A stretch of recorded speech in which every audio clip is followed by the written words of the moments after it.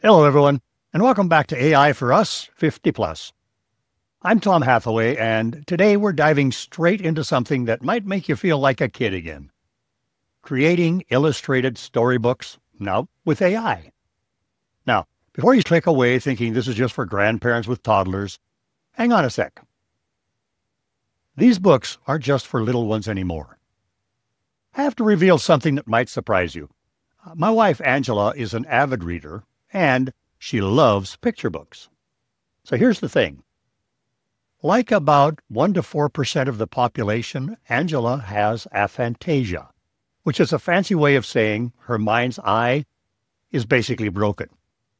When she reads The Red Barn sat nestled in the rolling green hills, her brain just shrugs and says, Sure, Angela, whatever you say.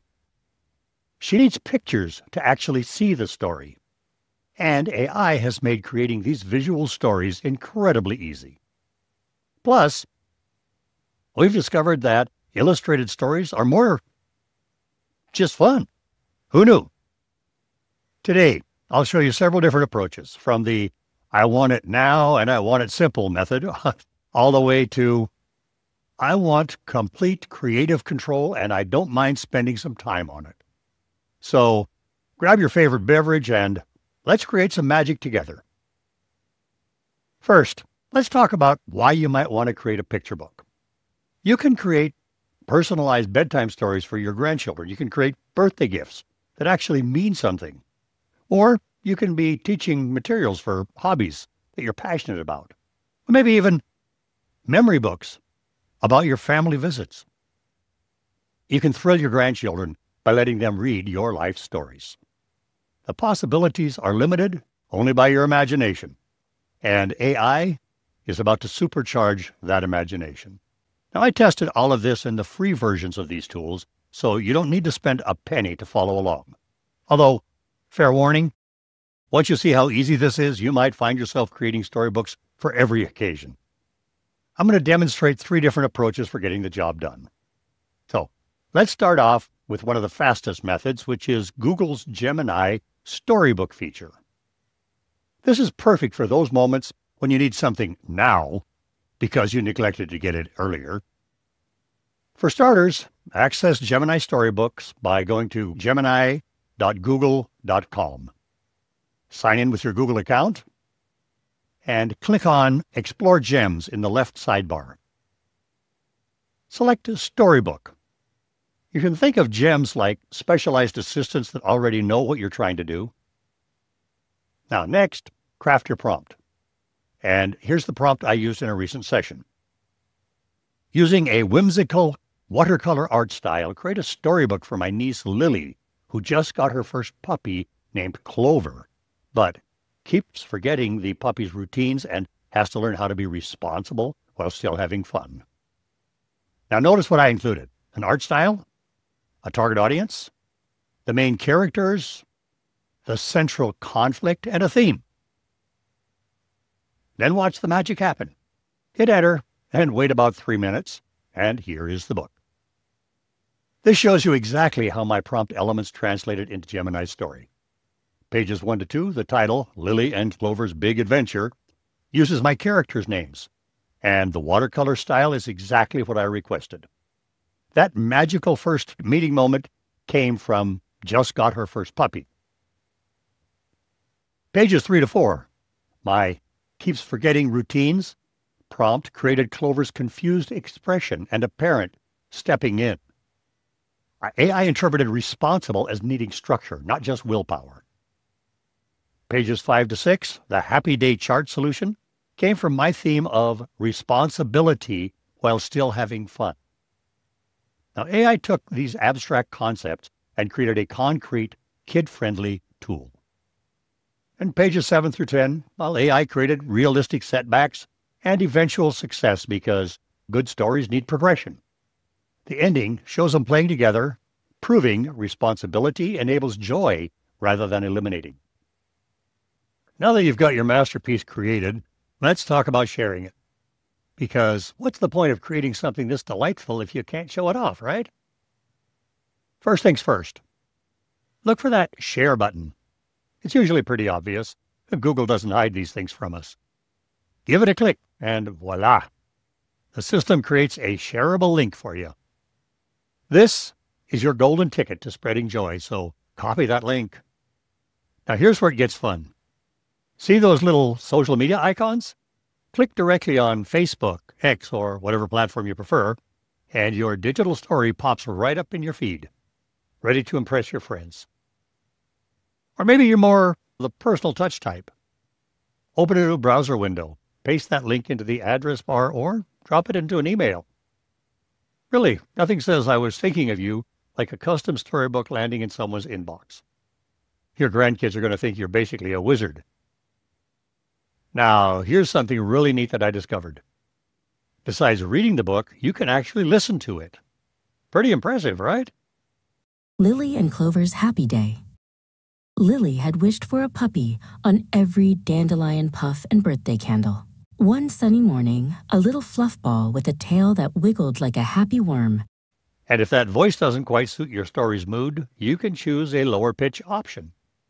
Sometimes the deeper voice works better for certain stories. Lily had wished for a puppy on every dandelion puff and birthday candle. One sunny morning, a little fluff ball with a tail that wiggled. Maybe your tale about Grandpa's fishing adventures needs that more authoritative tone. Now, one last feature. There's a print to PDF function, which sounds great in theory, but that can be temperamental. Sometimes it works perfectly, sometimes it doesn't. Don't count on it for last minute printing. But when it cooperates, it's handy. Now, the beauty of this sharing system is that once someone has the link, they can enjoy your creation anytime, anywhere. No special apps, no complicated downloads. Just click and enjoy. Now, for more control and better quality, let's combine ChatGPT's storytelling prowess with Gemini's instructions. My friend Frankie had this idea about introducing Greek mythology to preschoolers. She'd already started the story and just wanted help finishing it. I demonstrated how she could combine the best of ChatGPT and Gemini with this structured prompt. You are an expert in Greek mythology and writing children's picture books for preschoolers. I want to write a 10 page story about Pandora's box. I already have the start of a story idea that I want you to use. Pandora, who'd been made by Greek gods, had a young cousin. Her name should start with a P.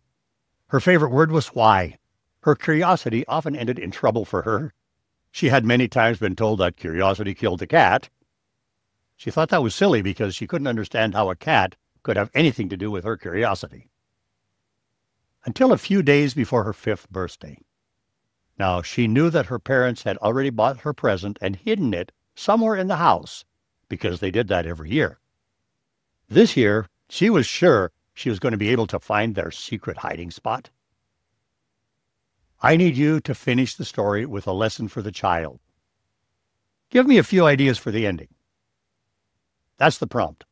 And as you can see here, ChatGPT gave me several ending options for the storyline. One, the miniature box surprise. Number two, the box that let the mischief out. Number three, the box that shared hope. And number four, the box full of surprises. Now, Frankie chose the one where curiosity leads to minor mischief, since that's kind of the central theme of the Pandora story, right? Using Canvas, we refined specific sections until the story felt just right. That's my favorite part, fine-tuning until it feels just right. For example, I wanted to capture that classic curiosity killed the cat lesson, but in a warm, gentle way. So I asked ChatGPT to reframe it. After a few iterations, we landed on opening things too early can turn wow into oops. Perfect. I also refined the ending to highlight that patience makes joy grow bigger not just extra fun. This kind of back and forth is exactly how you shape AI's output to align with your vision. Now, to ask Gemini for a book, you need to tell it what art style it should use. Since I know diddly about art styles, I asked my trusty AI tool to help me.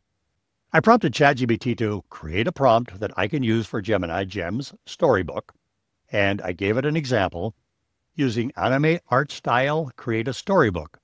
Add some elements from Greek mythology like settings, furniture, and clothing being from that era. It came back with Using a whimsical storybook style, create a preschool friendly illustrated story set in ancient Greece. Characters should have soft, rounded shapes, expressive big eyes, and wear simplified Greek clothing like chitons and tunics with playful laurel wreaths or tiny winged sandals.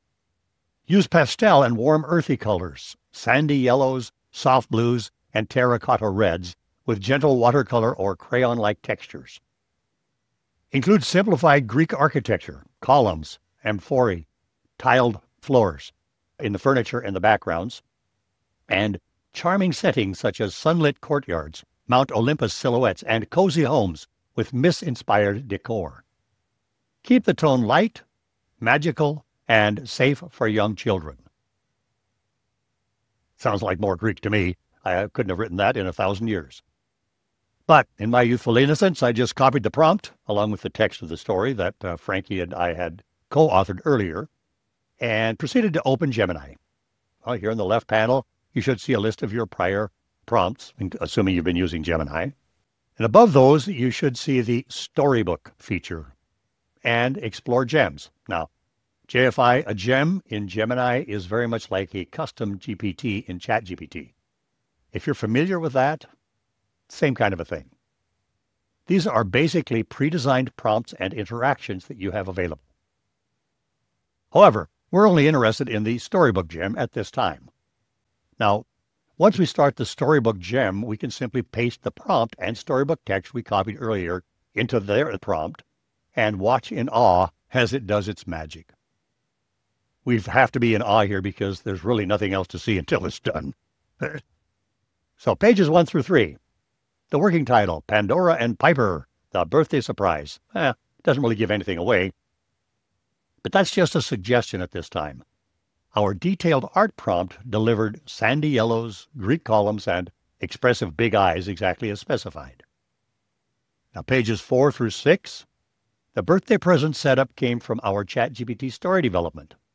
And pages 7 through 9, the colorful wisps representing minor mischief shows how our collaborative approach created age-appropriate consequences, teaching without traumatizing, because we specifically chose the patience ending. And page 10, the warm family resolution reflects our refined story choice. Wisdom over punishment, patience over prohibition. Every element traces back to specific prompt decisions we made. Now, for another amazing feature that blew my mind. Angela's mom wanted to be able to read the book too, so I just told Gemini to translate the book into German, and voila, near perfection. It did change the images somewhat, but the text was a very good translation of the English original, and the images still fit perfectly. So think about this for a moment. We've gone from creating a personalized storybook in minutes to having it professionally translated into another language in seconds. For those of us with multilingual families, or if you're trying to help grandchildren learn a second language, this is pure gold.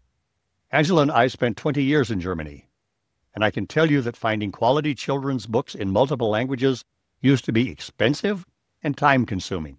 Now it's literally one sentence of instruction to the AI.